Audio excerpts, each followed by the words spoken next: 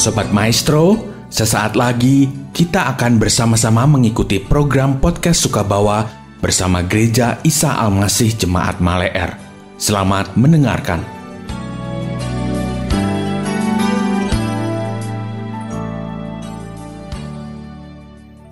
Podcast Sukabawa by Gereja Isa Almasih Maleer.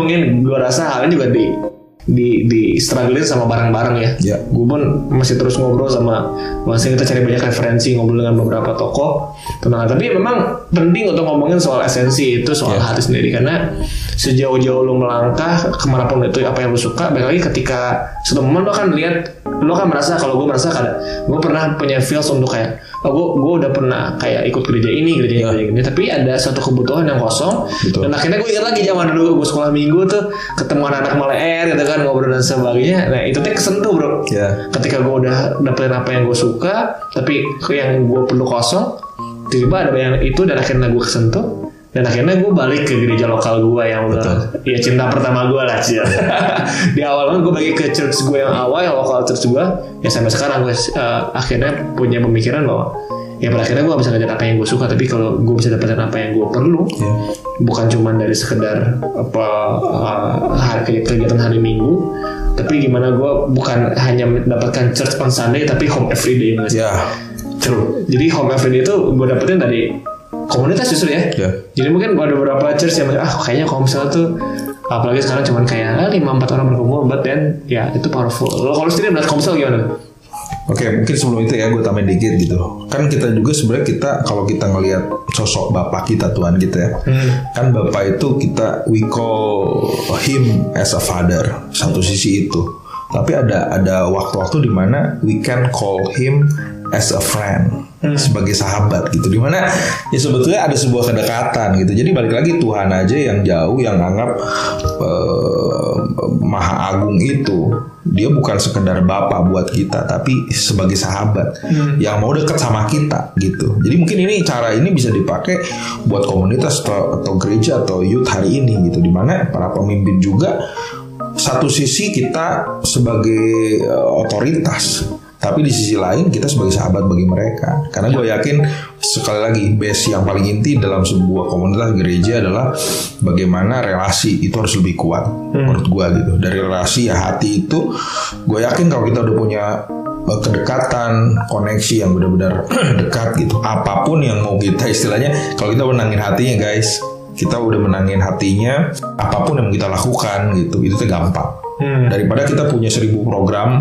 tapi kita nggak connect sama mereka kita bahkan mungkin saling curiga kita nggak punya sebuah kedekatan nggak bisa gitu. Nah, makanya ya kembali lagi hari-hari ini eh, menjadi sebuah apa ya ya kesempatan sebetulnya bukan sebuah kendala. Ini kesempatan gitu. Oke kita nggak we can we, we can't stop everything ya hari-hari ini ya. Tadi balik lagi kalau ke awal jendela gereja segala macam kita nggak bisa stop. But we can uh, stay connect buat mereka. Kita jadi jadi istilahnya mendampingi aja bro. Ada kalanya mungkin ya mereka uh, butuh sesuatu yang di luar. Temenin aja kalau bagi gua gitu. Karena mungkin ada hal yang memang kita belum bisa cumponin lah anggap seperti itu. Tapi balik lagi gue yakin kalau kita terus sertai mereka kita terus dampingi mereka gue yakin sih mereka akan sampai kepada titik nanti mereka akan kembali lagi. Sebetulnya yang penting adalah esensi gitu. Jadi bukan sekedar itu gitu oke Iya. lanjut Nah mungkin maksud gue jadi kayak akhirnya berpikir gitu bahwa eh, semakin lo dewasa lo kan semakin, Ya. semakin ngerti esensi. Betul. Ketika pada akhirnya lo menemukan orang-orang yang awal lo pikir ah di gereja mah cuma bisa ngomongin hal-hal yang ya. ya eh, istilahnya holy aja gitu ya. Betul, betul. atau hal-hal yang kayak oh ya udah kayak eh, kasih gue tahu gitu kan. Terus kayak anugerah ya gue pun sudah menerima anugerah itu gitu ya. Ya ya. Tapi kan ada banyak kemasan-kemasan problem-problem real yang sebenarnya lagi dicari sama youth dan mungkin kita bisa mulai jembatanin ya realita hari ini gitu ya di mana sekali lagi ya informasi sekarang kita bisa dapatkan every single day. Not just itu tapi setiap detik gitu. Ini benar-benar cepet banget gitu ya. Mungkin istilah istilah yang memang hari-hari terjadi gitu di mana media sosial menjadi sebuah istilahnya kebutuhan manusia hari-hari ini. Dan ini kita bukan kita sekali nggak bisa stop juga gitu hal ini. Informasi tentang nilai-nilai values dan kita nggak tahu di situ semua ada bro. Nilai-nilai yang bersifat mulai dari hoax dari yang mungkin kebenaran bahkan hal yang bersifat nilai-nilai dunia gitu. Yang ini istilahnya eh, ya kembali lagi kalau kita nggak punya dasar yang kuat kita bisa istilahnya mah kepengaruh juga gitu. Kadang gap tuh kita yang nyiptain ya. Ya. bukan karena situasi umur dan sebagainya tapi memang karena kita yang nyiptain. Makanya kalau ada yang bilang orang tua ya nggak nggak selalu gue benarkan juga ya. Aduh main HP wae dan sebagainya. Atau mungkin Ya.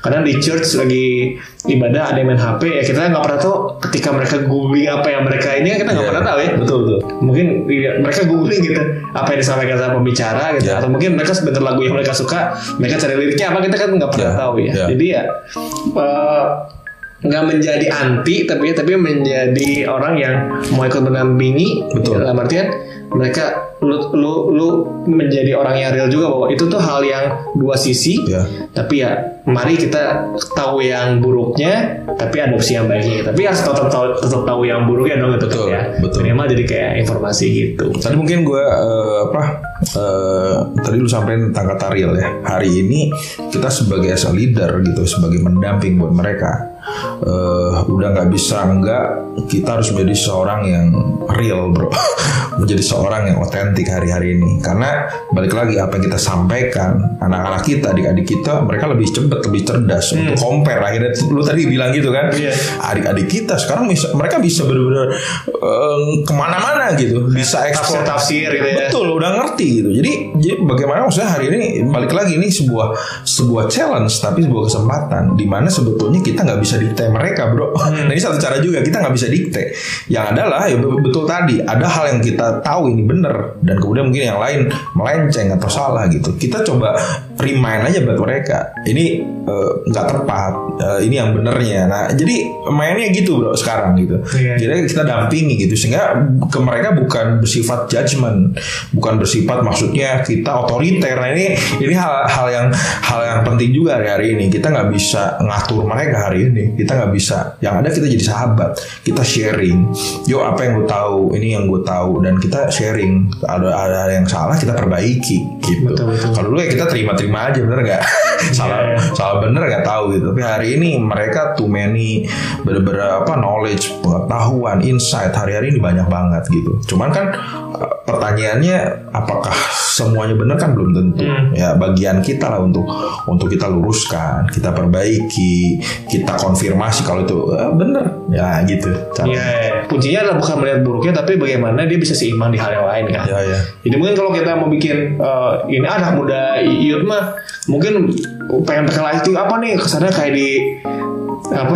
Gue nyebutinnya gimana ya? Dunia gemerlap gitu Iya, ya. iya. kesannya kayak oh ini eh, duniawi banget dan sebagainya. Indian sebenarnya enggak juga ya karena, karena semua tergantung esensi yang dipegang dan dibawa sebenarnya. Jadi kalau anak-anak youth kita gue rasa esensinya udah kesentuh nih ke mana pun kita bawa packagingnya mereka akan tetap megang esensi itu ya nggak sih Betul, betul. itu itu oke menarik banget sih menurut gue Mungkin sih eh, ini bisa nanti lebih dalam nih ngobrolin tadi tentang klub dan sebagainya. Cuman eh, for me ya, buat gue pribadi, mungkin ada pendapat lain nanti bisa ditambahin.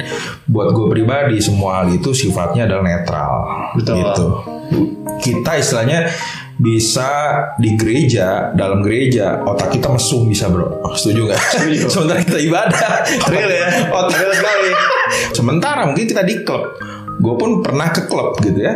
Tapi kita sekedar nongkrong Enggak eh, pesen jus strawberry Hmm. Dan kita kalau misalnya di situ.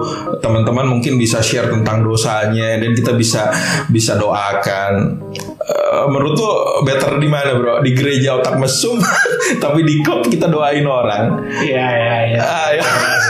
Sebenarnya tergantung Ya, ya, lu nya kan. betul ya. Jadi bukan masalah tempat, for me ya. Iya. bukan masalah tempat, tapi apa yang sedang kita lakukan itu jadi lebih penting. Iya, gue tuh gue pernah ngasih tau salah satu gitu, ya anak kosan kita ya. Gue tuh sebenarnya ke tempat ini tuh bukan buat mabuk, gue cuma minum jus jeruk sama Oke. kentang goreng dan ngobrol sama teman-teman gue. Yes, yes. Oke, fine gue. Iya karena banyak juga. Gue uh, kemarin juga ada yang nanya uh, gue boleh nggak nih malamnya gue ya saya nongkrong gitu Iya. besoknya gue pelayanan. Itu kadang menjadi masih menjadi sebuah pertanyaan juga nih bro buat anak-anak gitu. Gitu kan. Ya gue pikir ya selama lu nggak nggak mabok nggak nggak narkoba dan sebagainya lu just nongkrong gitu kan ya mungkin itu bagi gue sah gitu. Betul. Karena pada akhirnya yang menurut gue cukup bukan cukup miris itu teman jadi akhirnya tuh menurut gue mereka tuh terlalu dini untuk membatasi per- pergaulan mereka cuma atas dasar bahwa oh kata kata kata kata si A si B itu kayak gini atau Ya. apalagi mereka bilang bahwa apa yang mereka dengar di gereja tuh akhirnya mereka jadi membatasi pergaulan bukannya akhirnya mereka jadi liar ya menurut gue ya Betul, cuma betul. pada akhirnya bukan tentang akhirnya membatasi diri sih menurut gue ya. tapi akhirnya bagaimana lu tetap bisa so- secara sosial juga lu luas karena itu tuh butuh gitu karena menurut gue Iya. berapa banyak orang-orang orang-orang anak-anak kita yang ketika mereka punya relasi yang luas mereka tuh punya dapat kemudahan-kemudahan dalam hal contoh lah sekarang anak muda berbisnis ya udah banyak banget Iya. terus kayak dapat kerja dan sebagainya ataupun juga lu juga jadi punya ya referensi-referensi dalam sesuatu so that's that's a good thing menurut gue untuk berteman Iya. tapi ketika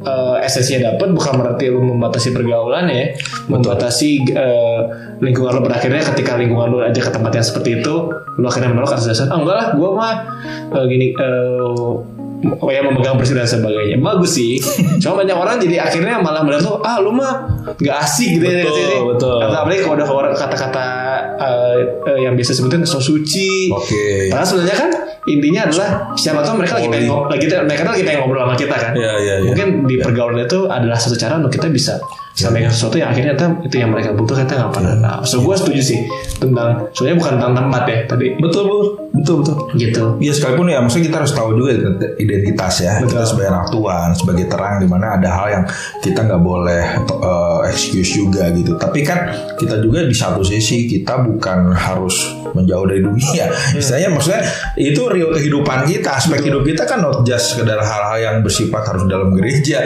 harus yang bersifat pelayanan dan lain sebagainya enggak. Kita pun harus main uh, society bagaimana teman-teman kita. Kita harus tahu juga tren. Kita harus tahu apa yang sedang terjadi di dunia ini kan maksudnya uh, banyak hal lah uh, segi kehidupan kita gitu Iya, gitu gitu Ya gue sama bangetnya bagi masih masih terus mencoba Ya. mengenali gitu belajar kayak tadi One Piece juga lagi happening banget. gue juga gak nyangka sih, gue gak nyangka sih. Iya, Karena gue juga bukan tipe orang anime banget kan sebenarnya. Iya. Cuman tiba-tiba mulut ke mulut kok ini makin nyebar nih ngomongin Betul, soal betul. ini terus banyak yang ikutin episodenya sampai nonton di bioskop kan ada, ada itu sampai ada hafal original soundtrack dan sebagainya.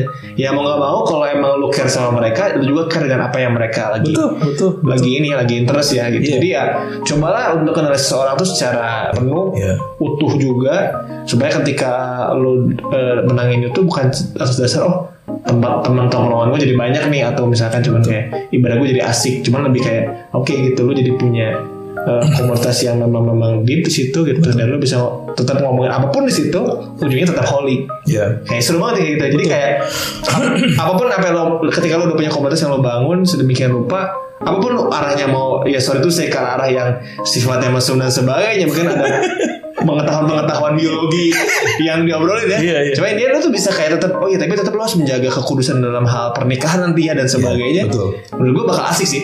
Lo bisa ngomongin apa pun di situ Iya, iya. secara luas tapi pada akhirnya endingnya ke sesuatu yang holy. Nah menurut gue kalau udah temuin komunitas yang kayak gitu itu komunitas yang udah tepat banget buat Ini satu hal lagi bro ya. Jadi yang gue perhatiin sekarang bicara media sosial and youth and church gitu ya.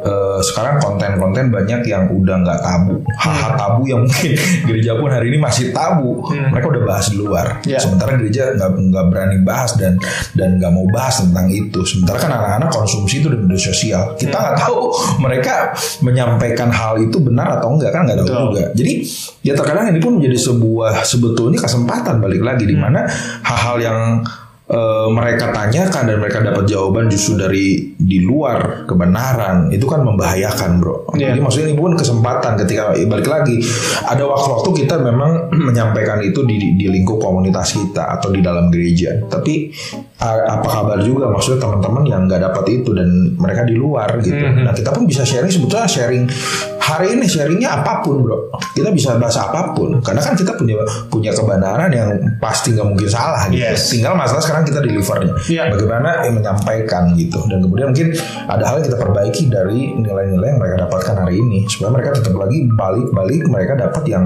sebenarnya gitu. Iya iya iya. gitu. Itu mungkin sesuatu yang oke ya. Mungkin bisa jadi ide atau inspirasi juga buat warga-warga Sukabawah khususnya yang memang Iya, iya. yang refer ke i- eh, youth ministry lah gitu ya atau mungkin lagi keset- eh, lagi struggle tentang hal ini atau juga mungkin buat teman-teman yang menurut gua hal ini tuh bisa di, di, di- diaplikasikan nggak cuma di gereja doang tapi ya kayak sekolah Betul. Nggak sih Betul, betul. terus kayak beberapa eh, komunitas-komunitas yang lagi coba bikin packaging-packaging itu Ya. ya mungkin ini bisa jadi inspirasi juga buat warga-warga Sukabumi yang mendengarkan dia tiktokan gue tiktokan nih gitu kan. Ya, sedangkan ya. lo nggak bisa gini-gini or Betul, ya joget-joget something ya Indian ya ini aja sih apa sih? Kayak ya udah relevan aja gitu. Ya. kayak Rehan siapa sih Rehan? Rehan tuh siapa sebenarnya kan? Gue kayak nanya nih Rehan tuh siapa nih sebenarnya? Jadi kan akhirnya oh ternyata Rehan tuh konten itu kan. Iya, iya, betul. ini mah tau lah dengan hal yang seperti itu. Pada akhirnya gue yakin ya seperti yang Bang Sem tadi bilang kalau udah menangin hatinya tuh gampang ya sebenarnya bro ya betul. Tapi bukan berarti dimanfaatin ya cuman lebih kayak Nah. lu jadi bisa berjalan bareng-bareng tuh lebih gampang Satu lagi sekarang kenapa akhirnya anak muda nggak percaya sama gereja and mereka keluar juga salah satunya adalah itu tadi mereka dimanfaatkan. Hmm. Nah ini ini menjadi sebuah sebuah masukan juga nih buat gereja gitu di mana kita jangan sampai memanfaatkan mereka tapi benar-benar kita dengan ketulusan hati kita melengkapi betul melengkapi mereka adding value gue yakin kalau itu yang terjadi masa iya sih mereka akan lupa masa iya sih mereka nggak akan loyal dalam hal ini gue pikir kalau kita dengan tulus bukan memanfaatkan mereka tapi benar-benar dengan ketulusan equipping kita temanin mereka gue yakin sih ini pun menjadi hal yang kuat untuk akhirnya mereka bisa loyal mereka bisa justru nanti ada hal yang mereka justru kasih kontribusi buat gereja Tuh, nah ini ya. Kawan church and the youth nih komunikasi ininya ya. Betul. Duduk bareng. Iya, Maksudnya nongkrong bareng Iya ini pun ngopi bareng. Ini ini pun apa yang dilakuin sama gereja kita sebenarnya lagi akhir-akhir ini di di Malayar ini atau di mana gue sama Iya, Bang iya. Sam bertumbuh kita lagi banyak ngobrol nih dengan para senior dan gue sendiri juga eh, ya di- dipercaya sesuatu untuk banyak ngobrol sama Hmm. eh, senior kita gitu. Pada akhirnya ketika diobrolin apalagi sambil makan tuh bro ya. Wes. Bener gak sih? Sambil ngebahas atau sambil makan sesuatu yang dibuka yang- mulutnya kebuka hatinya. Kebuka kebuka mulut kebuka hati semua kenyang semua senang ya. Jadi ya ada banyak hal-hal yang sebenarnya bisa dikomunikasikan. Betul. Cuman kesannya kalau lu bawa terus di ruang lingkup, maksudnya oh kita meeting di ruang gereja ya. Sadar nggak sadar itu jadi serius tuh, ya nggak sih? Tapi kalau ya kita meeting di coffee shop bukan berarti ya akhirnya lu jadi coffee shop terus ya. Cuman menurut Iya. gua pastilah komunitas atau gereja minimal ya ya bikin bikin session ya ya udahlah gitu maksudnya ya udah kumpul ya mungkin aduh jadi harus keluar budget something ya udahlah gitu kita belajar untuk kayak ya udahlah ini kan sesuatu yang memang kita berikan juga buat orang-orang yang kita sayangi juga kan sebagai jemaat itu kan sebagai anggota.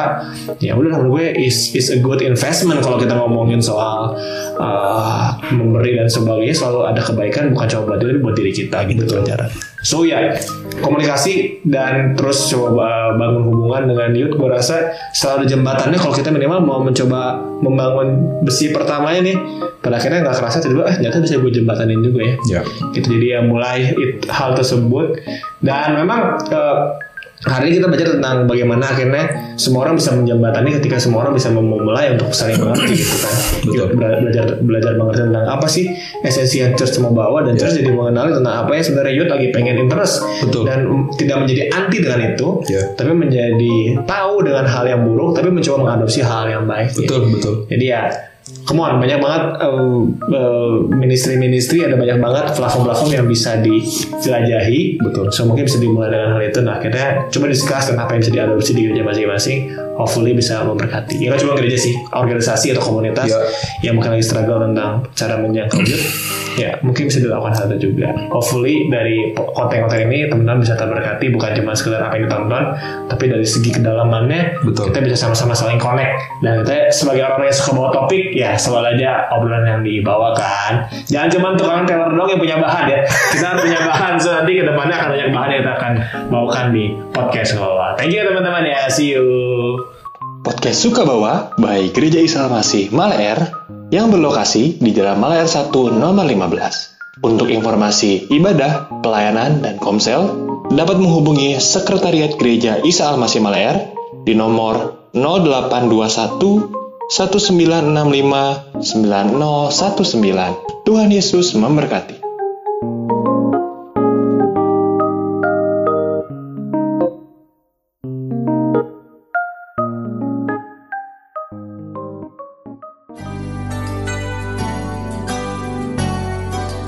Sobat Maestro, Anda baru saja mendengarkan program podcast Sukabawa bersama Gereja Isa Almasih Jemaat Maleer.